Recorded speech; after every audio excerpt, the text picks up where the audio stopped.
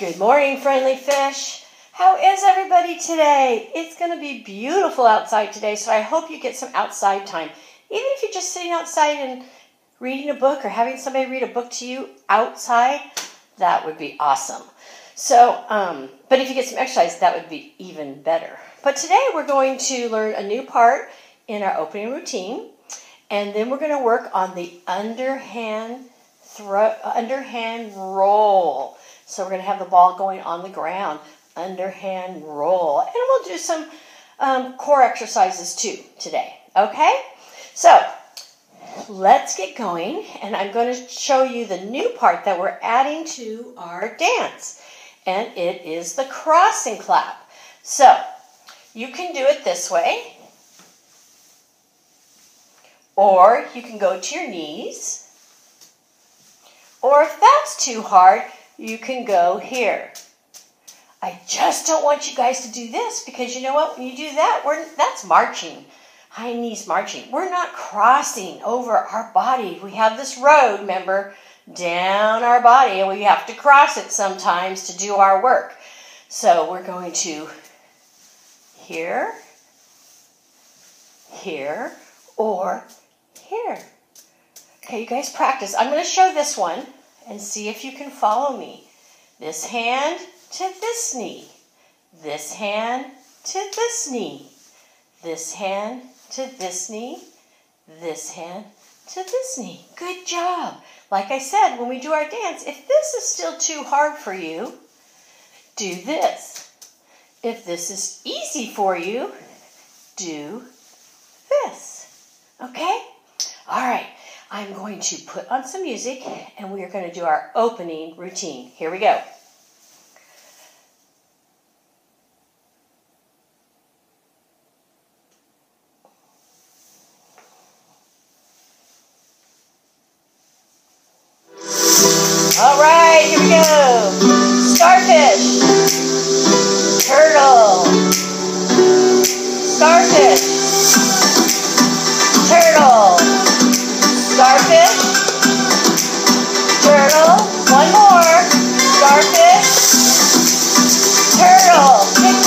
Those apples or cherries or lemons or oranges. Good job. Now, we're going to pull in our rope. And today, we're, then we're going to push it out. We're going to put these together.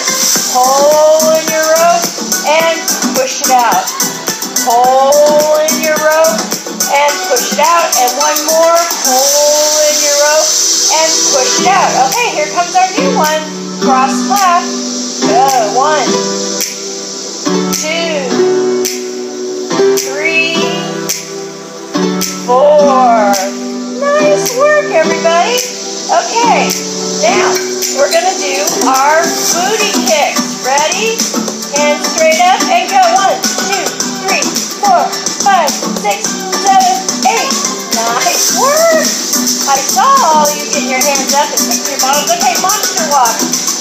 Remember, that's on our heels. One, two, three, four. Back, two, three, four. Forward, two, three, four. Back, two, three, four. One more time. One, forward, three, four. And back, two, three, four. Woo! Good work, everybody.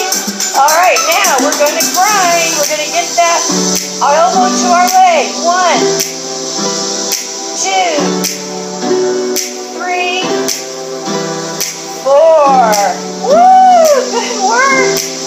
now rock and roll hips. Hands here. Go one, two. Other way. Three, four. What is your video nice job. Let me turn Go this off. Sorry about that.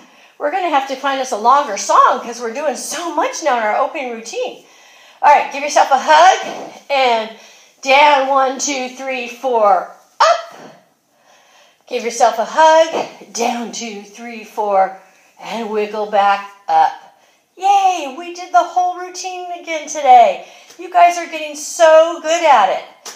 I really like the, how hard you're working. All right, now we're going to get our ball. So I have, you should have with you either a sock ball or your own ball or our paper bag ball that we made. I think I'm going to use the paper bag ball. And I'm going to show you what I want you to do. The first thing we're going to do is we're going to put our feet far apart. And we're going to try and roll the ball forward. All right? So go get your ball and let's try it together with two hands. We're going to roll the ball forward. All right? Okay, everybody practice that a couple times. Roll the ball forward with two hands. All right, now I want you to try it this way, and I'm going to show you two different directions. But you're going to put the ball here, and we're going to roll the ball backwards on the floor. Whoops, mine went way back here. Let me go get it.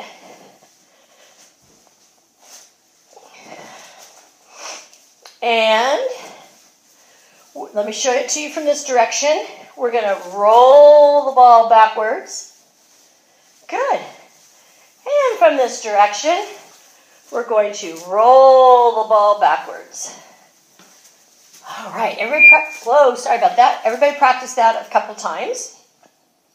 Okay, now, with two hands, you're doing really good. You're keeping the ball on the ground. I like that. Now we're going to try and keep the ball on the ground with one hand. So we're going to put this here in our hand. We're going to hold the ball. We're going to step forward we're going to bend our knees and we're going to roll again. All right, let me show you that from a different direction. Okay, have the ball in your hand. You're going to take a step, bend down, and roll. If you can't step yet, that's okay. If you're just rolling like this, that's okay.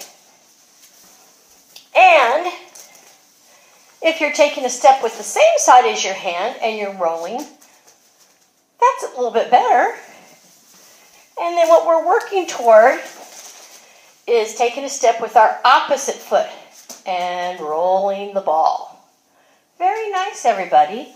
Okay, we're going to take a break from the ball work for a minute, and we're going to work on our some core exercises. All right. So the first one we're going to do, which you guys know from the um, old opening routine is tummies to the sky. So when I say go, we're going to go tummies to the sky, and then we're going to count to 10 all together and see if we can hold our tummies up for 10 seconds. Are you ready? Here we go. One, two, three, four, five, six, seven, eight, stay up high, nine, ten. Very good, everybody. That was great. Now, if you remember last time, we learned how to do bridges. So we're going to lay down, or bottoms up, I call them. They can be called bridges or bottoms up. Either one. Okay, hang on. My microphone does not like laying down. Here we go. So, what you're going to do is you're going to lift up your hips. All right? So we're going to lift them up and we're going to hold them for a count of five and we're going to do it three times. Are you ready? One, two, three, down. One, two, three, four, five, down. And now we're going to count to six. One, two, three, four, five, six, and down. Whew, good work. All right, last one. We have some of you have done this with me before, and some of you have not done this. It's called Dead Bug. So we're right here, and we are going to put our legs up in the air, and we're going to do what is called Dead Bug. Here we go. Hands and feet up, and we're going Dead Bug! Dead Bug!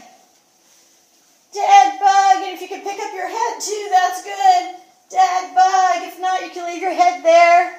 Dead Bug! Oh, poor bug. Woo! Let's make the bug get alive again, okay? We're gonna roll over, and the bug's alive. Yay! Good job. All right. Now what we're going to do, let me get back here so you can hear me a little better, is you're going to get the cups that I um, gave you last week. And um, if you don't have um, the red cups with you, any plastic cups will work. I would like you to have 10, but if you only have five, that's okay too. That'll work. So what we're going to work on is how to build a pyramid. And building a pyramid does so many things. One, it's a fun target for our rolling, but also we are learning spatial awareness. We're learning hand-eye coordination. We're going to be using prepositions, and we're going to be crossing the midline. You can you can do that too. So it, there's a lot of different things that happen when you build a pyramid. All right. So the first thing we're going to do is we're going to take four cups and we're going to put them next to or beside each other. All right, just four. One, two, and they have to be close together. Three and four. So four cups that are next to each other. Okay? And now we are going to take our next cup and we're start to build our pyramid, which comes up high. And you guys, I don't have, I didn't, I should have probably gave you a pi- picture of a pyramid before, but we'll see what it looks like when we get done. Okay? So this cup we're not going to put it on top. We're not going to put it on top of this cup. We're going to put it between these two cups. Do you see that? Not on top, but between. All right? And then we're going to put it between. And then we're going to put it between these two cups. If it's falling down like that, you aren't in between. You're on top. So try and take it and try to put it on the two cups. All right? So between. So it looks like this. When you get those three, we're going to do the next two. Between. Between. Nice work. And the last one on top. Whoa, look at that. We have this shape is called a pyramid. We have a pyramid. Yes, you can knock it down. You can flick it. You can push it. You can pull it any way you want to knock it down. Ready, go. Woo! Very fun. All right, now put them back together. And we're going to build another pyramid. You ready? Okay, here we go. One, two, next to, three, right next to it, four. They're all next to or beside each other, right? And it can touch a little bit. All right, now the next ones we're not going to put on top, we're going to put between. All right, between, between, between two cups, between two cups, between two cups. And there's our pyramid again.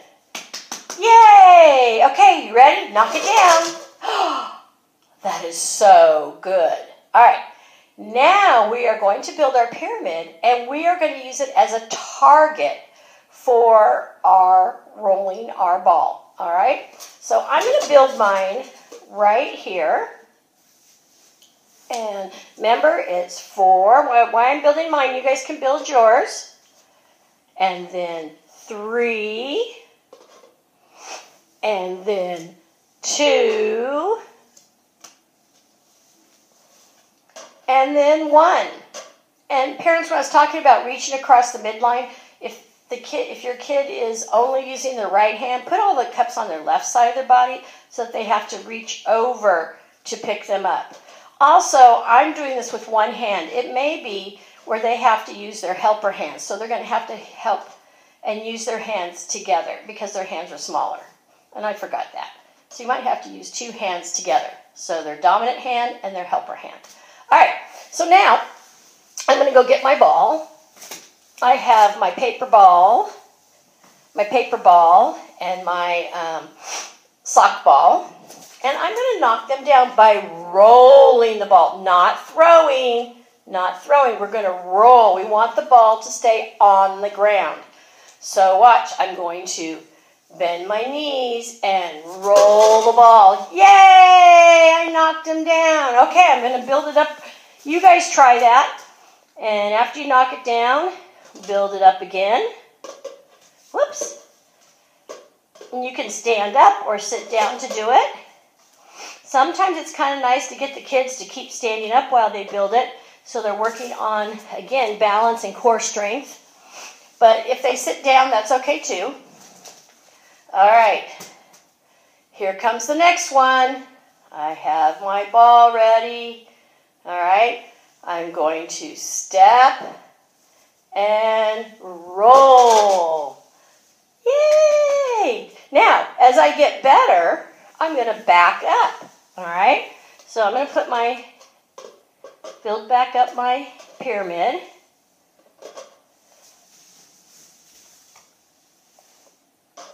Okay. And I'm going to back up farther. You can't even see me. Let's see if I can move my wall here. All right, I'm even farther away now because I'm getting so good. And I'm going to step, and my ball's going to stay on the ground and roll. Oh no, I missed. Is it okay to miss? Yes, it's okay to miss. We'll just try again. So I'm going to pick up my paper ball right here. And I'm going to try again. I'm going to make my fingers go right towards the pyramid, right towards our pyramid.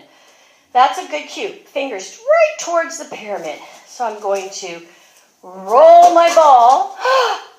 Yay, I knocked it down right toward the pyramid. Okay, let's do that just a couple more times, all right? So here we go.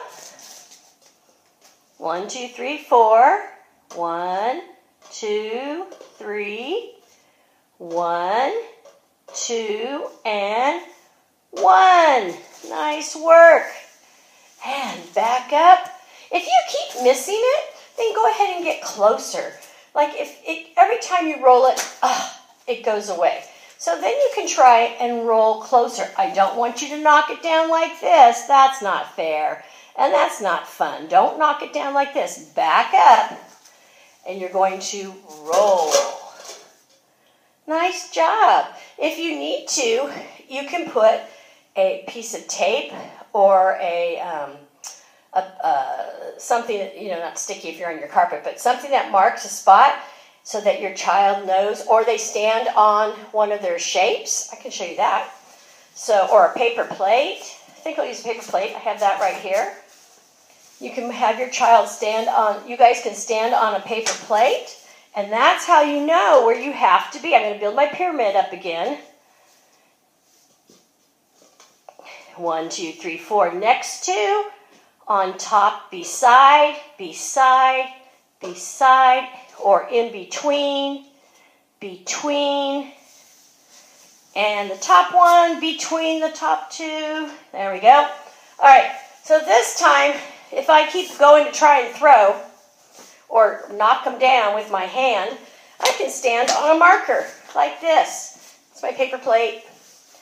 And then you know you cannot leave the marker. Now you may not get any steps when you do this, but at least you're getting everybody far away from the pyramid. So you guys feet on here and step off with one foot, leave the other foot on, and roll.